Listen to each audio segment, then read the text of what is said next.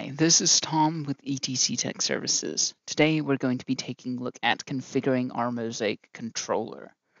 So taking a look at this controller, we know we have an MTPC and it's running version 2.6. But if we take a look at the controller, all of the information is listed in a red text. And the red text is indicating that it's got an invalid firmware. So we already know our controller is running version 2.6. But if we come over to our designer version found under project in the about screen, we can see the version of designer is 2.7.4. Now, in order for designer to be able to talk to the controller, both the designer and the controller need to be running the same version of software. So to fix that, we need to go back over to our network tab, select the controller, and choose reload firmware. Now, before we reload any firmware, we need to make sure we have any backups of our files. So we've made the necessary backups. We're going to select the controller, noting it's highlighted in blue, and we're going to choose the reload firmware option. We'll get a prompt here confirming that this is what we want to do, and we'll go ahead and choose start to reload firmware.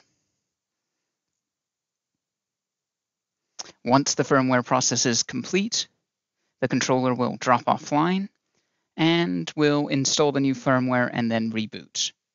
So now our controller has rebooted, and if we take a look here under firmware, we notice it's running 2.7.4. Now that's the correct version of firmware. And if we take a look at the overall controller listing, it's listed in the standard black text, indicating that Mosaic Designer can communicate with this controller. Now, if we needed to associate the controller with the project, we would come over to our serial number screen, make the appropriate selection, and then upload our file to the controller. Controllers can also appear in a light gray in the Network tab. Now, the light gray is indicating that the controller's IP is different to that of Designer. So if we take a look at this IP address, it's 10.25, and we know that the IP address of Mosaic Designer right now is 10.101. Now, in order for the controller and the designer software to talk to one another, they've got to be in the same IP scheme. So in order to rectify that, we can right click on the controller, we can choose configure, or we can select the controller and choose configure in the top toolbar. So designer is prompting us that there's an IP issue. And if we were using DHCP, we go ahead and just click this button and choose apply. However, we're actually going to assign a static IP. So we're going to say we're in a 10.101.50.75 IP scheme. Our subnet mask is actually correct, and we're going to assign a 10.101.1.1 default gateway.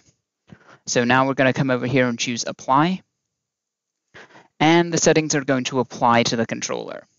Now, while network settings are applying to controllers, they may become unresponsive and you may lose output from the controller. So make sure before applying any network settings that you can turn lights off. We're going to go ahead and choose close. And now if we notice our IP address is listed in black text along with all of the other information about the controller. And again, this is indicating that designer and the controller can communicate with one another.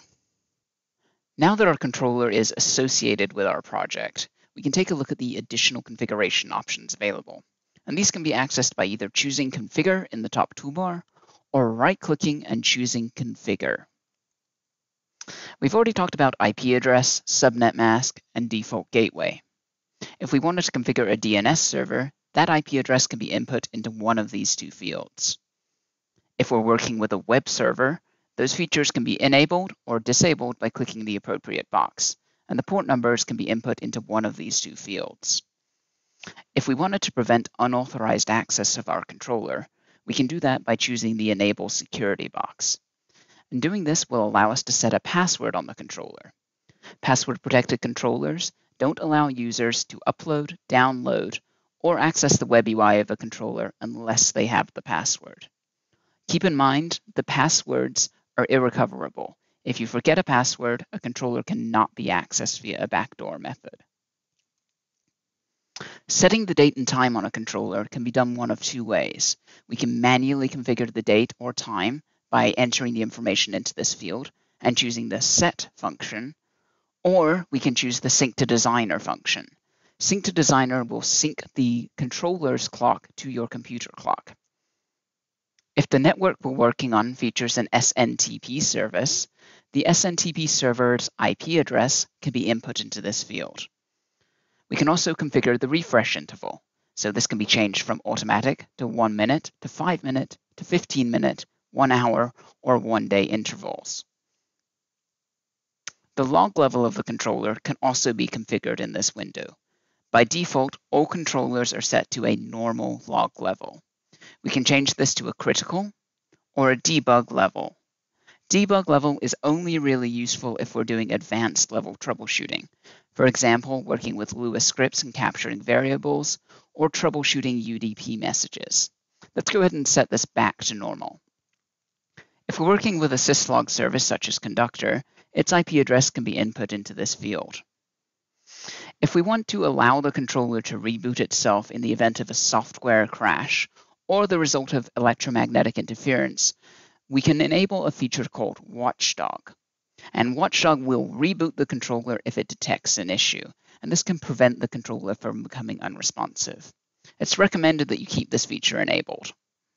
The data storage option allows us to format the controller's memory. Keep in mind that formatting the controller's memory removes all information from the controller. Once a controller's memory is formatted, nothing can be recovered.